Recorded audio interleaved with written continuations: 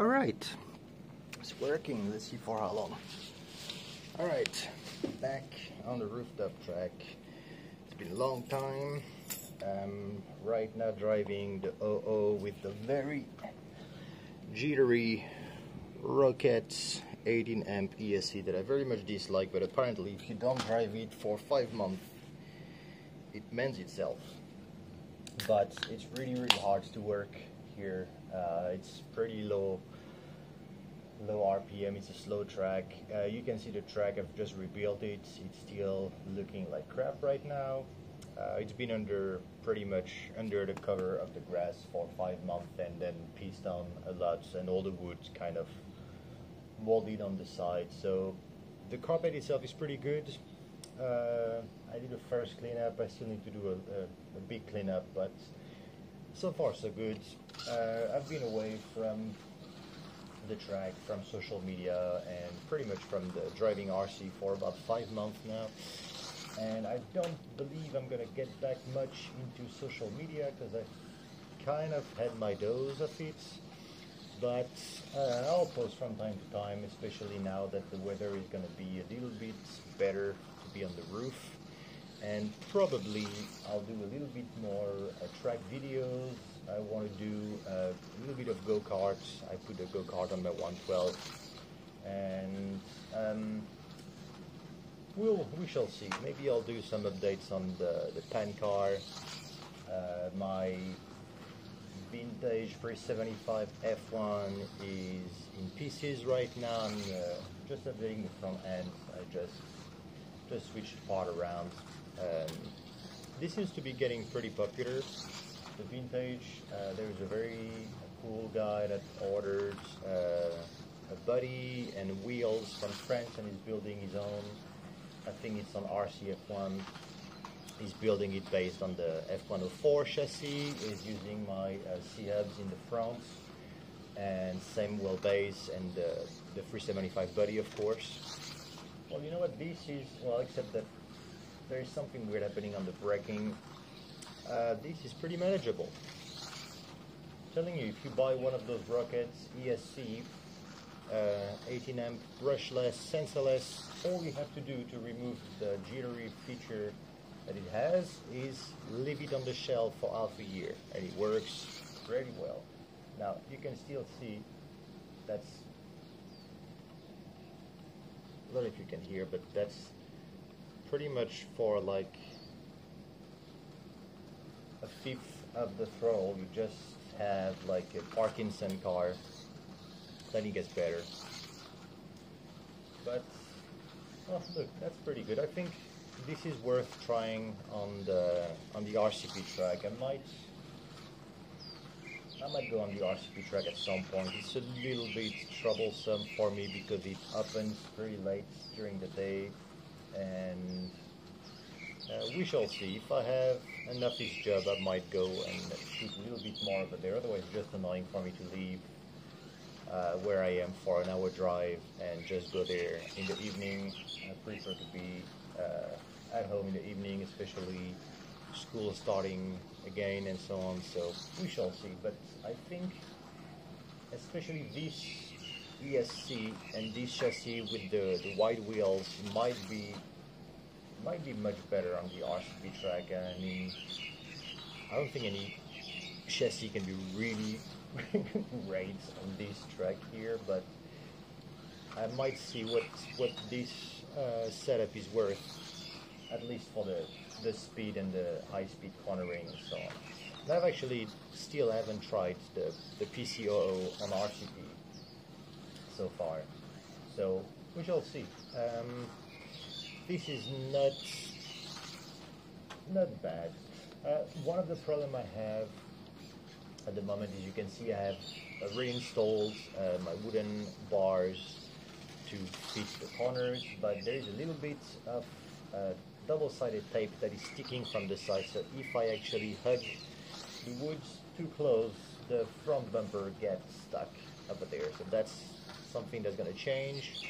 I have the, the, white and red warning tapes that I'm going to put. I have a little bit left, so I think I should have enough at least to put on the sides, and then the top of the wooden bars, I'm going to put the white tape back uh, on it, so that's where they were going to be more visible. Most of the scale accessories, uh, decor that I had around the tracks are dead. Oh, this is less sticky now, I guess it's getting dusty.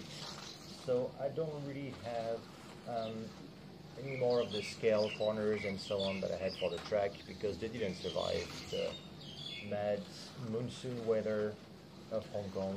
But it's alright. It was it was good for when it lasted. I'm gonna bring back the Easy Lap timer pretty soon once I have the track cleared out. The, this is still hopefully working on the on my old laptop. Uh, I need to check what car have the transponder. I know the 07 and the, the F1 both have it. This one I don't think I have, but the, the F1 has it in the basically under the halo here, and the 07 has it under the bonnet over there. So we will see when I drive them again. Uh, well, this is not so bad. You can see the carpet is fully coming back to life. So that's gonna need a little bit of compressed air, but those, this setup, wow, it is really hot. God damn it.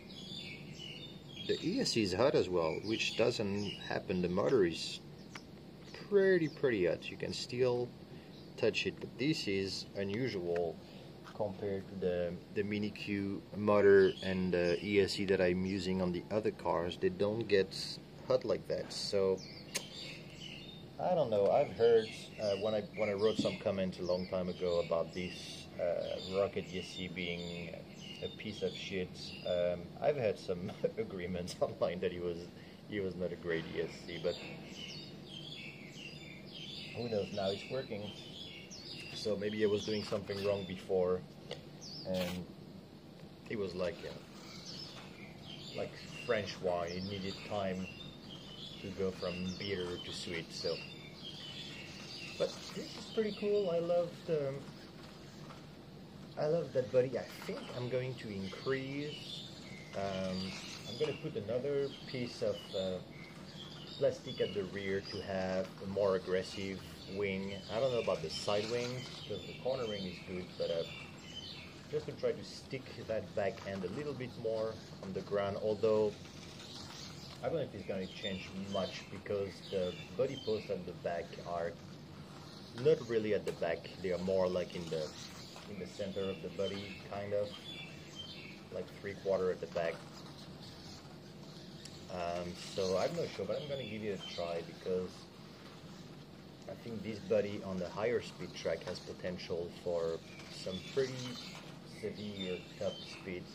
But right now, um, I am driving with no, no, uh, 65% endpoint, and I think I have a pretty severe exponential. Yeah, I got minus 40 on the forward exponential uh, reverse, I have the ABS turned on on the radio.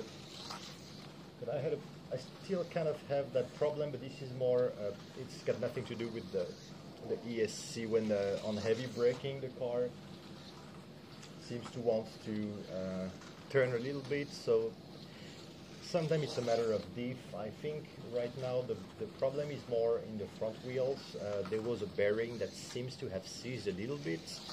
Uh, I think the right hand front tire, uh, front wheel was not turning great. So I have removed the bearing, I have WD-40 the whole thing, and it seems to be doing better, but obviously there is a, probably a difference um, in freedom between the front left and front right uh, bearing. So I might have to do a full cleanup on that car. I have not done anything at all. I just took the cars out of the box and started driving them again like if nothing had happened at all, which is kind of what happened. So considering this is pretty good and I am quite happy about the overall bounciness. It seems like the it's still bouncy as hell because the floor is insanely uh, irregular here. It's uh, underneath the carpet. It's uh, some kind of uh, isolation sticker with rubber and aluminum on the top. So it's a lot of different layers on top of each other. There's nothing nothing flat at all, no tile or anything of that sort. But it seems that the, a few months of uh, watering has compelled the carpets to hug the surface better. So, so it is still bouncy. Oh, I'm impaled. Still bouncy where the the underneath is is really out of whack. But other than that, it's see there is a few bumps here like just air bubbles, but something alike, but really a lot less than before. So I'm pretty happy about that. And uh, with all the wood, uh, double-sided tape everywhere, hopefully it's gonna work well. I'm considering making the track for oval as well as this setup right now and I'm thinking about using the buggy a little bit more not only the small buggies but the big as well. So I have left that area open over there in order to do uh, what I'm doing now. This layout or just a large corner layout and I'm thinking about making that piece over there the aluminum bar here removable or I have uh, the jumps that I have from the tin foil. So I might do a setup when I have uh, like a jump over here, a small jump instead of the corners, and then straight line jump to over there, maybe in the grass and back over here or outside and back inside here. Uh, so I can play around with the Carisma as well as potentially my um, my 110, not the fast one, but I have some Tamiya. Um, I have a what's that called? It's not the sand buggy, but it's just like a DT-01 two-wheel drive with a small can motor at the back. So I think that could be that could be fun, especially on the on wet days where I can drive with those. But well, look as as bad as it's ever looked, but overall, I'm pretty happy with the way it survived, considering the amount of rain it's received and. Um, the one that was on top of that, the, the grass one is now dying over there on the side. It's completely decomposed. So, I mean, everything considering, I'm pretty happy with that. Um, regarding SDR, everything is still ongoing. I have not done uh, pretty much anything new since the Lola Buddies for 112. They are not uh, on the website. I don't know why. I guess because I didn't put them there. Uh, seems like the 112s don't have much interest because I think people are uh, to have racers just want race buddy. They're not really interested in the uh, either prototype chassis type that I'm making or um, the more scale look for the buddies. Although they're they're performing really well, but you just can't compare with the shovel buddies. Uh, I've recently worked. Uh, on the design for uh, another brand that possibly is going to have uh, IFMAR um, Buddy for 112. So I hope this is going out. If it does, it will go out on my design channel, not my uh, remote control channel, because uh, of course this is not for my brand.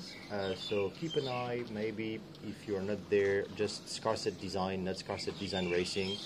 I have. Um, the website, I have my Facebook page, my LinkedIn, and everything, which is the more, not more professional, but just purely design aspect of what I do, nothing to do with RC. And so under that umbrella, I'm designing a IFMAR buddy for a new American brand.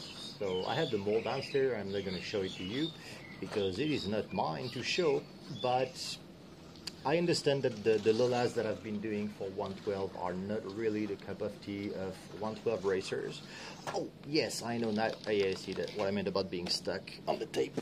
One thing that I have that I haven't really shown is the 110 size uh, Lotus 7 Caterham or Donkervoort however you like to call it, is the same car.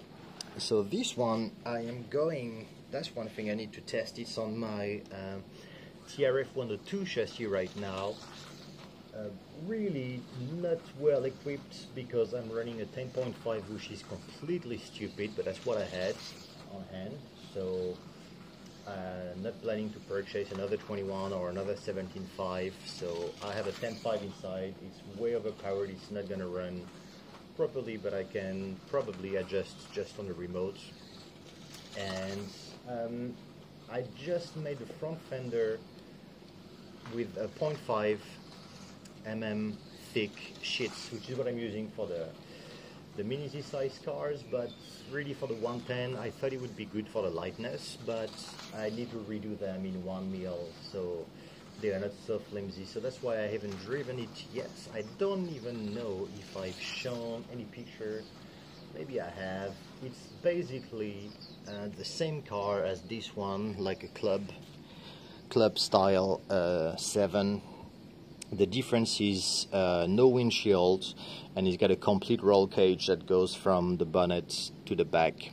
Other than that, it's pretty much the same, but instead of having the more modern that follow uh, the steering uh, wheel wells on top, it has the old school all the way to the back wheel wells, and this one has only um, exhaust on one side. The 110 has exhaust on both sides which are uh, plastic molded. Uh, other than that it's pretty much the same car. Um, the shape is slightly different because it needs to fit around the 110 F1 but I will see. I will see how it goes. That is another multi-part body set but uh, I will see how it works. If it if it works as well as it looks uh, on the track, that's possibly something that I'm going to put on the web store. Although it's going to be like the 375 is going to be on the, the expensive side because it requires a lot of different um, sheets to make. The um, body is in two parts, the wheel wells at the back and in the front are separated, so that's four sheets of plastic for the body and then it has uh, headlights, helmet, roll cage, which is a pretty big piece, and uh, what else? Exhausts. I think that's it. Yeah, I think that's it for the hard plastic parts. But so it's a pretty extensive piece, and once again, um, I don't believe the F1 110 drivers are into driving scale, but who knows? That might change. So I don't know. Next time I have a chance to go on the on the larger track, um, if it's ready, I'm going to bring it as well to give it a try. We'll see. I might do a, a, a full F1 day at the track with all my F1 chassis and another with all my pan cars. I shall see. No plans. We'll see. Right now I'm a little bit of uh, in limbo uh, regarding everything professionally, so I'm I'll see. The, the, the web store is, of course, always open. I'm always available uh, to answer any requests for orders and stuff. I had to cancel a few orders of. Uh, oh my god, this smells like very hot electronic. Let me bring the car back to see if it's this thing burning or a neighbor that's burning a plastic cat. Hmm, it's not this. So, must be a plastic cat burning next door. Yeah, I had to cancel a few orders of uh, the 112 trike uh, body because I had some issue with the vacuum forming machine for some time and supply of the, the plastic sheets so I had to cancel I think two orders for Japan for that so I apologize uh, at the moment all the 112 things are pretty much uh, not available anymore. The bigger scale as well, just because the, um, they require me to stock too many things and the orders are way too little. So I'm still um, I'm still available for people contacting me directly and ordering it, and just be patient on me uh, getting all the supplies ready for everything, including you know FRP chassis or if people want them in carbon or whatnot. Um, although I don't have a lot of aluminum back in stock, so I'm not sure really how many of the 112 and 110 I'm going to produce, but I probably have a couple left. Uh, for the minis, it's still going as always. Uh, the bodies, the chassis, I have, I didn't put online, I have an enormous stock. Oh, that's, that's the lipo cuts. Oh, that's a painful comeback. Yeah, I still have um, a lot of GL Racing, quite big offset, uh, spoke rims that I need to put on the web store uh, that I need to clear so there's going to be a clearance on that and I think this is what smells if there was smell you would know smelling through the internet is not not there yet alright so that was a first drive in a while and well I have to report this is less shitty than last time when it comes to the, the way the ESC behaves. So tips to any rocket owner, keep it on your shelf for half a year and then curse at it for a while and it, it's gonna do the trick. Alright, so uh, my head mounted camera is not ready to come back to film so I'm using the mobile now. I'm gonna keep finishing to clean up and repaint and set up the track. I might do um, the next video when I try the buggy setup, maybe with my 110, who knows, because this is a pretty fun track for a big car as well, even though it's stupid. And uh, I'll have the Carisma as well, although I have a, one of the steering link that broke, so I have to repair that. So, all in all, hope everybody is keeping safe and sane during these absolutely stupid COVID times that never go away and that put everybody, including uh, myself in pretty shitty situations, but hope everybody is keeping a good spirit within all that garbage and keep having a way to enjoy their RC hobbies and families and, and whatnot and stay somewhat sane. So, I'll be back at some point. Once again, I'm not gonna go crazy on the social at least I don't have anything planned so it's gonna be on enough uh, but a little bit more on that is been like as I, I've been really away for some time now. So I'm gonna keep playing with those two girls here. This wasn't bad at all. I'm pretty happy about the setup. Um, I can give you a little look before I shut down so you'll see what it was all about uh, let me bring the air as well hey it's Christmas